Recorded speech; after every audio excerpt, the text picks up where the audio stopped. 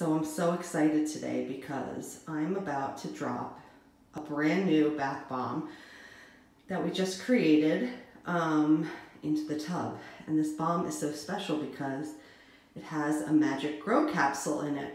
So there'll be a surprise and it'll be a sponge when we're all done. So let's pop it in and see what happens. Oh, hey, it's pretty. Smells good. Mm.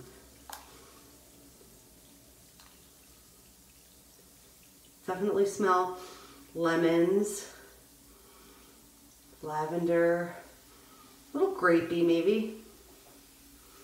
All essential oils. I like how the colors are coming together right now, the blue and the purples. They're spinning all together. I'm dying to know what this magic grow capsule is going to do.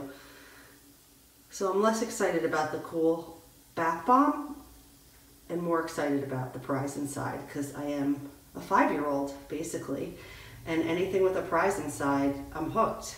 So you know market to me Gerber because I'll buy it all. I bet you those Gerber baby snacks that come in like those little pouches. Oh look. There it is. There's the capsule. Okay. So now what? Come on Get big. Work like you're supposed to. It's like still fizzing at the end. It looks like a rocket ship. I wish you could smell the way it smells right now. It is unbelievable. The whole bathroom. And the bathroom is big. So like, let me show you the bathroom. There's the backyard. Okay, here's the, the bathroom is like pretty large. So I'm giving you a whole tour. It's a mess. Hey. Yeah, so this is the bathroom. And the whole thing smells from this one little capsule, which is unbelievable. And now there it is, melting in the water. And this is going to be an exercise in patience. But I'm hoping that small children who would like this the most are going to end up having no patience like me and kick this thing all around.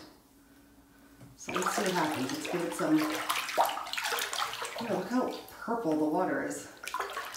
The good thing to know too is that these are all just food dyes, so none of it is bad for you. I know some people are concerned with the colors um, and that they could seep into your skin or have some sort of reaction, but really it's food coloring and essential oils, which are actually really good for you.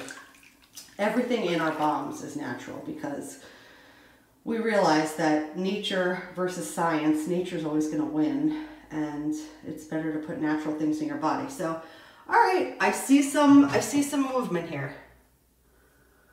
But like, really? I don't know that I have all day patience to wait for this. So I'm gonna like put my hand in here. Oh, oh, it's almost, okay, the, the capsule is almost completely dissolved. Wow, this is so cool. So now I'm three years old and I'm chasing this capsule around because what the hairy heck? Okay, here it comes. And like if this works, then you make your kids scrub themselves because now they have a, a, a, sponge. And so that's one way to get out of parenting. Like any parenting shortcuts, come to me. You want them to feed themselves? I'll tell you what shelf to put the food on. Just trying to get by. Okay, look, I see something. All right, what is this? Come on now. What, what little sponge person do I have? Oh, it's a buffalo. I just made that up. I have no friggin' idea what it is.